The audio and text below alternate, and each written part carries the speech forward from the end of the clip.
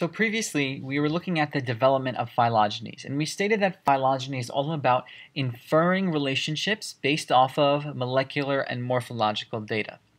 The next type of, let's say, phylogenetic study, people consider a more pure form of phylogenetics, a more purest form of that study, and it's called cladistics. And we're going to entitle this next flowchart just that. It's called cladistics. And it's all about clades and looking at clade uh, organisms and clade relationships.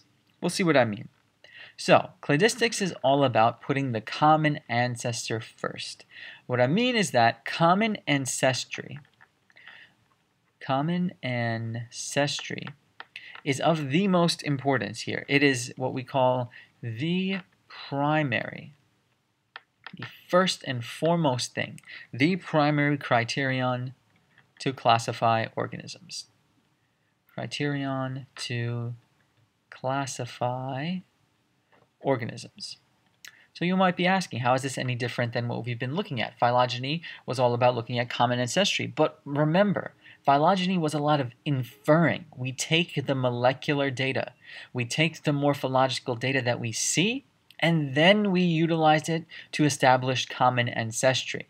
This is the different way of thinking because this is saying common ancestry comes first, and only when you have complete and utter common ancestry can you build relationships, can you build and classify organisms. It's a bit of a look at the same idea of phylogeny, but I consider it more purist phylogeny. You put common ancestry first. You don't care about the morphological or the molecular data. What you care about is always figuring out the common ancestry absolutely first and making sure that that is the first thing that's discussed. Um, in addition, in cladistics, we're going to be utilizing the idea of a clade. So a clade it can be defined as the following. A clade is a group that includes so the cladistics are made up of clades. Um, group that includes ancestral species. So we'll write that down. That includes the ancestral species. Ancestral species, think of that as the common ancestor that we're looking for. Group that includes ancestral species and all, all of its descendants. So this is a all or none sort of type of thing that we're trying to look at. We're looking at a very pure form of common ancestry, and we can also state that off of this definition, each clade, each group that includes ancestral species and all of its descendants, each clade is um, nested with larger clades. So we're going to be seeing uh, more and more clades develop off of smaller and smaller clades. Look at a figure in your textbook to really drive home this idea of nesting. The most important thing to understand about cladistics is the quality of the clade, and that can be covered in the idea of the three major cladistic groups that we know of, that we classify and some are better than others. There are those that are preferred cladistic groups and those that are really, really looked down upon and are not good ways of studying um, common ancestry as the primary criterion of classification. What do I mean by this?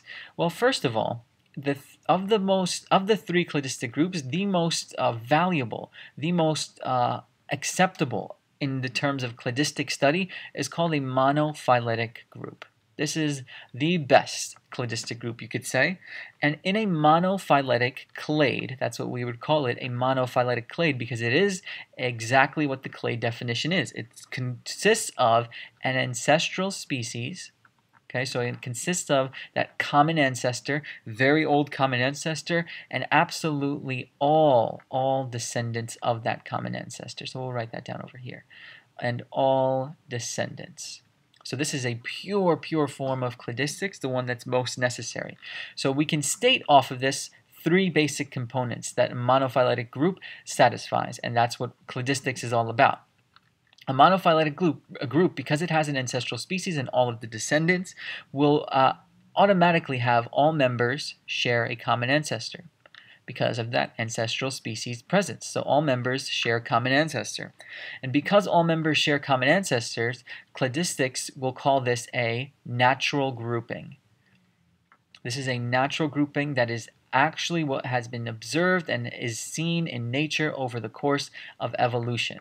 And so, for that reason, because this is a natural grouping in which all members share a common ancestor, just like how Darwinian evolution stated we're going to call this type of phyletic group, let's say, something that very accurately represents evolutionary history. So this is a purist form of cladistics. This is a good one. So now we can have lesser accurate and lesser acceptable phyletic groups, cladistic groups um, in other words off of monophyletic, you can also have, let's say, a paraphyletic group. So I'm just going to do that down here since I ran out of space. We can have something called a para, para means near, phyletic group. So monophyletic group um, would be like a pure one, mono meaning one, one phylogeny, one ancestral species and all of its descendants. Paraphyletic group means, you know, you're kind of there. You're almost a phyletic group. You're almost a monophyletic group. What do I mean by this? In a paraphyletic group, we do indeed have our common ancestor. So we have the common ancestor, but the common ancestor is available uh, and is seen with some, but not all descendants okay, but not all descendants share that common ancestor. Not all descendants. So we have um, a, a close, but really not there. This is what paraphyletic groups are all about, and thus, because not everybody's sharing a common ancestor in this paraphyletic, near phyletic group, this is not considered a true evolutionary grouping. So not evolutionary grouping because it is not 100% pure and cladistic in its nature. It is not a pure clade.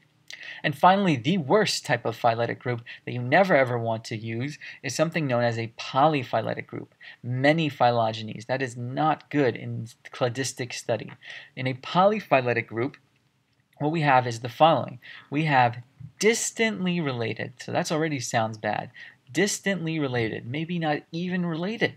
Distantly related species and no recent common ancestor.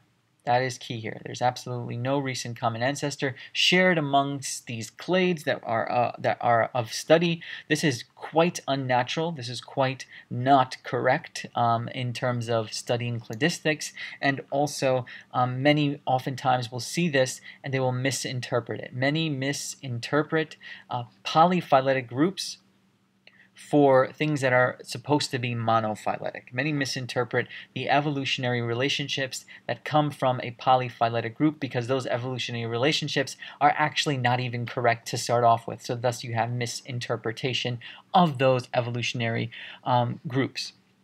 So overall, cladistics, I consider it a pure form of study of phylogeny. Um, a good way to understand cladistics is to definitely look in your textbook at a monophyletic group, a paraphyletic group, and a polyphyletic group. It really drives home the point if you visually see this type of clade, this type of clade, and this type of clade.